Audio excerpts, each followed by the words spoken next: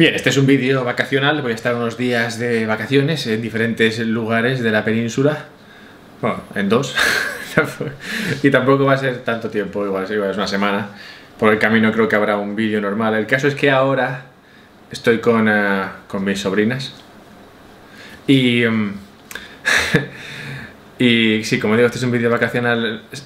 A ver, podría, haber, podría hablar de por qué España es diferente en términos de por qué la derecha se comporta como se comporta y la izquierda se comporta como se comporta, pero es a las 12 de la noche, he estado todo el día en el coche y como que no me sale.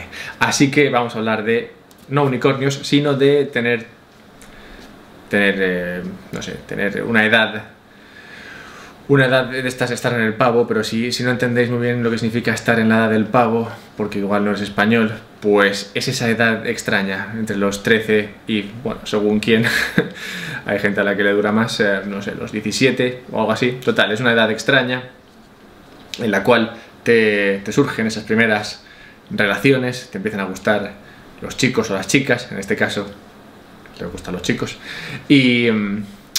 Y sí, estoy teniendo conversaciones de todo tipo, bueno, tampoco son tan variadas, pero sí son conversaciones sobre ese primer chico que, te gusta.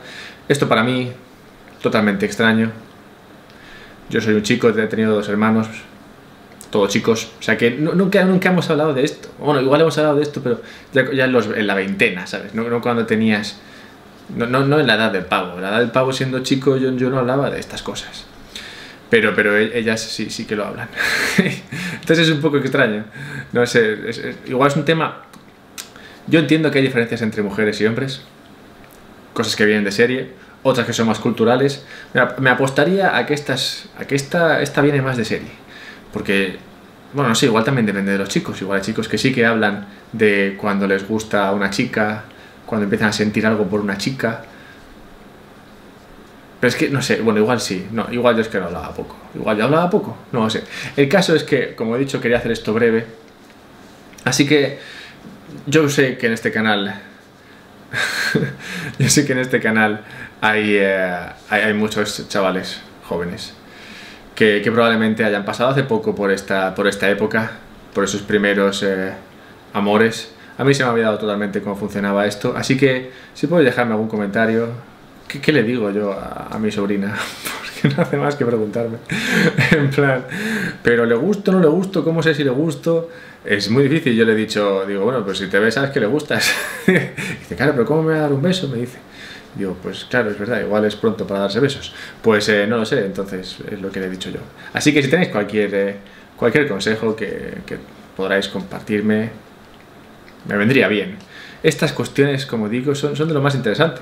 A mí me encantaría, yo soy mucho de, mucho de las familias, es verdad que no estoy haciéndolo demasiado bien en ese sentido, pues ya tengo 34 palos y no tengo pinta de tener una familia pronto, pero sí, sí, sí me gustaría... Me gustaría vivir todo, esta, todo esto desde, desde el principio, ¿no? Y pasar por el pavo y todo. Tiene que ser un poco duro siendo, siendo padre, es más fácil siendo tío, que estás por aquí de vez en cuando, de Pascuas a Ramos, que se dice. Pero aún así tiene que molar revivir todo este proceso. A mí se me ha olvidado y cuando han preguntado y ha empezado a contarme la historia esta, pues es verdad que me cuesta escuchar todo lo que dice, pero, pero me parece interesante y daría para muchos vídeos.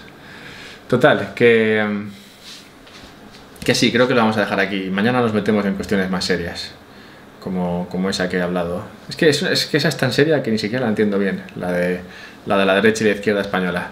Pero bueno, mientras eh, solucionamos el mundo o no, quedémonos con aspectos que también son importantes y fundamentales, de hecho necesarios, esenciales para la raza humana, como es el que a chica le gusta chico.